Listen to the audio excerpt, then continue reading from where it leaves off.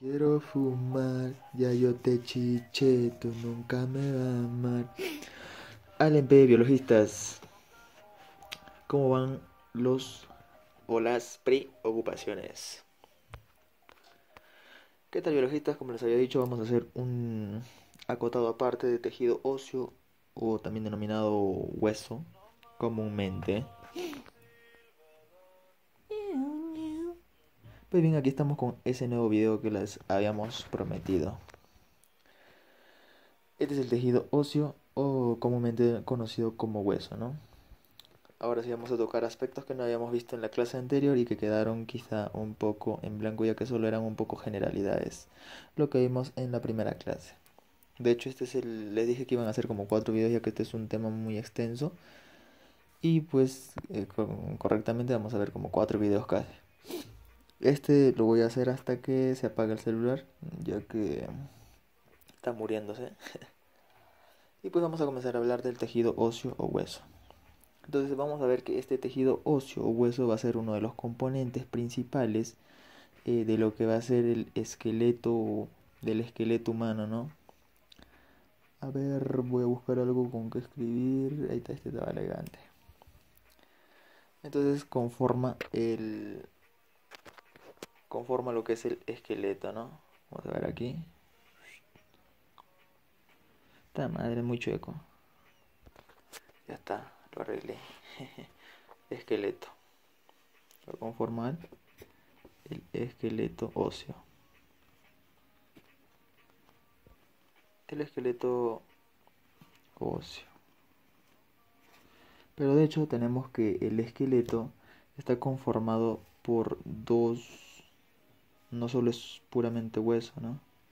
Está conformado por claramente hueso, por hueso y pues cartílago articular. Cartílago articular. Cartílago. Entonces vemos que tiene esos componentes el esqueleto óseo, ¿no?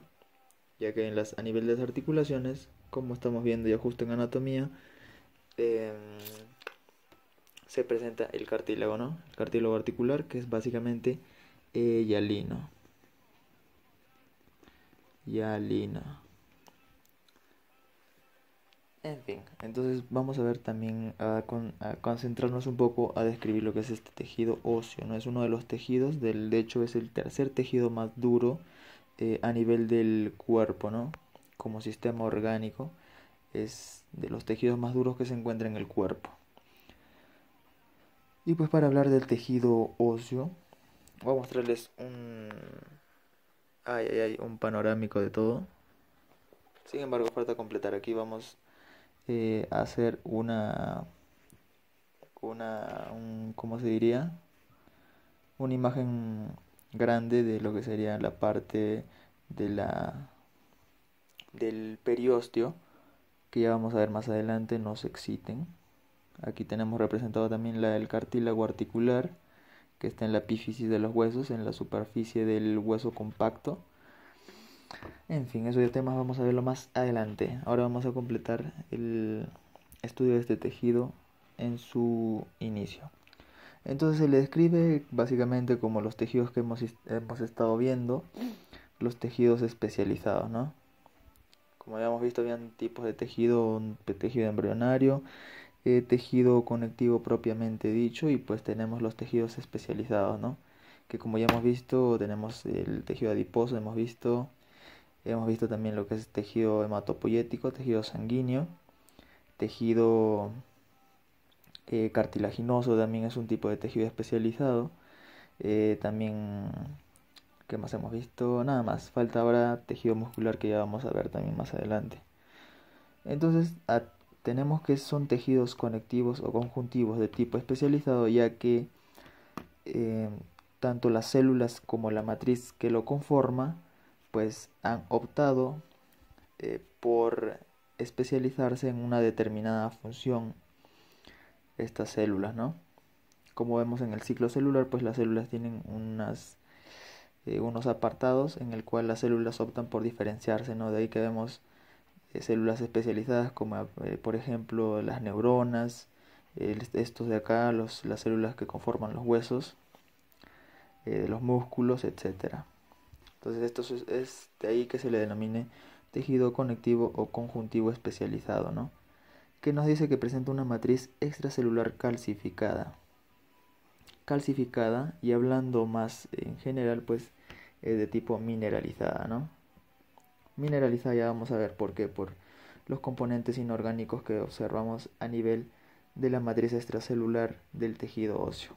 Pero esto ya lo vamos a ver más adelante, no se sometan no, no se sometan, que yo estoy hablando. Y debemos también que está sometido a remodelación constante mediante la resorción, ¿no? Esto también vamos a ver que está realizado por un tipo de huesos que ya habíamos visto en las generalidades, que son los denominados osteoclastos, ¿no? Que vamos a verlo aquí, aquí en células. Entonces vemos que está sometido a remodelación constante, ¿no?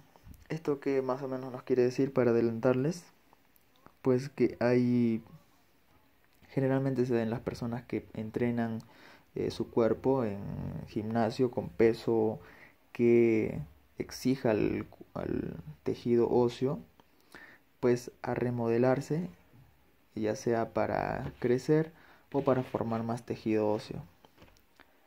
Este es un tipo de formación ósea por los ejercicios no por un tipo de estímulo que hace que un estímulo de ejercicios que hace pues que las células opten por ya sea desdiferenciarse a unos tejidos que van a, mejor dicho, unas células que van a hacer que este hueso sea más resistente y pues también tenga cierta, eh, cierta modificación a nivel de su estructura. Eso ya lo vamos a ver un poco más extenso en lo que va a ser tema de mm, el proceso de resorción ósea y pues em, hablando de, de remodelación ósea, ¿no? Es también hablar de la remodelación de la superficie del hueso. En fin. A ver. Eh, también podemos hablar un poco de lo que es ya las funciones Pues bien, básicamente las funciones eh, vamos a ver que este tejido óseo, hablando en el esqueleto, el sistema esquelético, pues tiene función de apoyo, protección y sostén, ¿no? El apoyo y sostén van casi relacionados. Entonces vamos a explicar el... Vamos a comenzar por el sostén. Pues son, son básicamente, sirven como este apoyo para músculos eh, o mejor dicho órganos blandos no como son los músculos y algunos que bueno mejor dicho y bueno la mayoría de los órganos que tenemos en el cuerpo y protege formando cavidades esto por ejemplo tenemos eh, a nivel del cráneo a nivel de la cúpula craneal tenemos esa cavidad que se forma para proteger el encéfalo eh, protege el encéfalo formando cavidades. El encéfalo es decir, el cerebro, el cerebelo, el mesencéfalo, bulbo raquídeo, etc. Eh, también forma cavidades a nivel de la cavidad torácica, por ejemplo, hablando del tórax, para proteger los órganos vitales que tenemos en ese nivel, como lo son los pulmones, el corazón, y demás vasos sanguíneos importantes que tenemos a ese nivel. Además funciona como palancas en la locomoción, ¿no? Palancas para los músculos que se insertan eh, a través de los tendones en, estos, en los huesos, ¿no? Y pues funciona eh, en la locomoción pero como un elemento pasivo. Esto ya lo, ya lo habíamos visto en las generalidades, pues se dice que es un elemento pasivo ya que no hay gasto de energía por parte de este, a diferencia del, de la parte activa que son los músculos, ¿no? que ya vamos a ver que forman un tipo de eh, complementariedad eh, hablando de sistema óseo y sistema muscular. Entonces, a ver. Entonces tenemos que funcionan como palancas, es por ejemplo cuando nuestro brazo se cuelga, forma palancas. Y pues eh, de manera complementaria con los músculos, que es el elemento activo, ¿no? Ya que los músculos sí van a tener un desgaste de energía. En cambio, este es un elemento pasivo ya que no interviene en el desgaste de energía y funciona claramente en la locomoción, eh, incrementando así la fuerza de los músculos cuando estos contraen sus fibras. Además también vemos que va a actuar acá en la homeostasis mineral, ¿no? Como almacén, eh, almacén básico de lo que es el calcio, hablando a primer nivel, ya que se dice que, además aquí, eh, almacena aproximadamente el 99% del calcio. De calcio.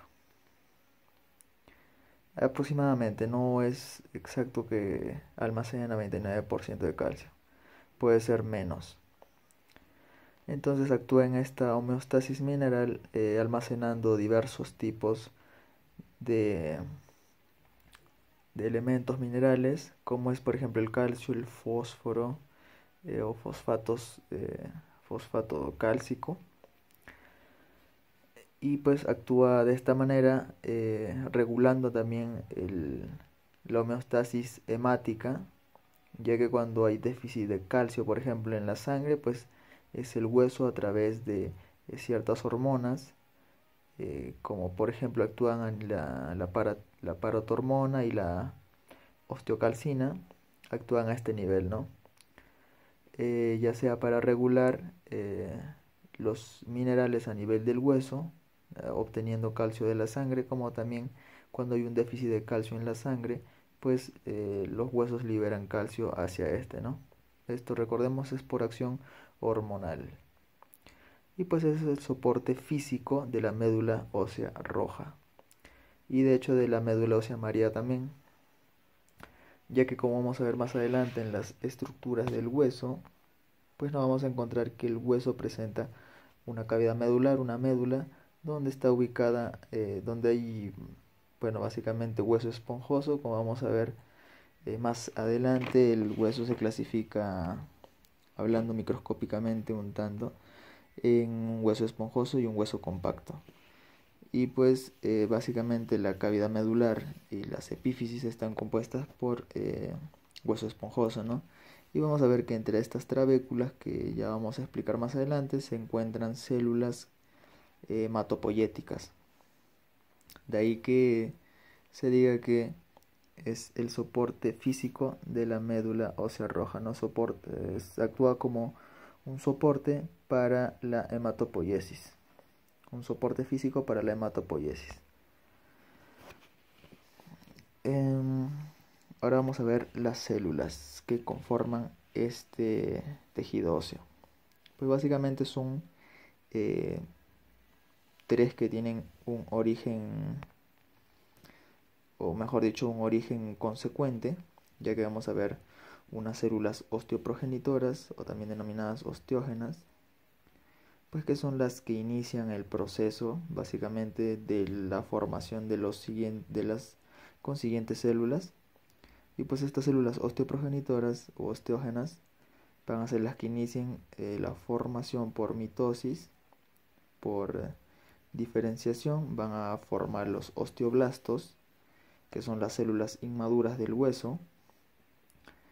Eh, además de explicar también a este nivel que los osteoblastos van a ser los encargados de formar eh, la matriz extracelular. Forman la matriz extracelular eh, circundante pues del tejido óseo, ¿no? Entonces los osteoblastos vamos a ver que en realidad van a ser los que forman básicamente lo que es el tejido óseo, ya que forman eh, tanto la matriz extracelular, los componentes, lo del osteoide, eh, y una vez que éste se baña en su propia matriz, pues se encierran estas células en, una, en un tipo de laguna que son denominados no, perdón, osteoplastos, osteoplastos o lagunas. Estos osteoplastos, una vez que rodean este osteoblasto, eh, pues van a formar o van a pasarse a llamar osteocitos. Entonces recordemos que el osteoblasto secreta su propia matriz osteoide, secreta los materiales orgánicos que vamos a encontrar a nivel de la matriz extracelular y además eh, al quedarse encerrado en esta matriz quedan encerrados en lagunas en espacios denominados osteoplastos los cuales una vez que están rodeados de, este, de esta laguna eh, pasan a llamarse osteocitos es decir estos osteoblastos pasan a formar los osteocitos que son las células representativas y las células maduras de este tejido óseo se dice que son los, eh, las células un tanto inactivas, ¿no? Sin embargo, cuando la del tejido requiere, por ejemplo, que haya, hablando ya de una fractura, digamos, una lesión, pues estas células necesitan que haya un osteoblasto que pueda generar más matriz y también eh, eh, dividir más, osteos, más osteoblastos para generar más osteocitos y pues se desdiferencia en osteoblastos cuando, hay, cuando ocurren ciertos problemas. Sin embargo, podemos definirlo así, ¿no? Como la célula representativa del tejido óseo, los osteocitos. Finalmente tenemos a los osteoclastos.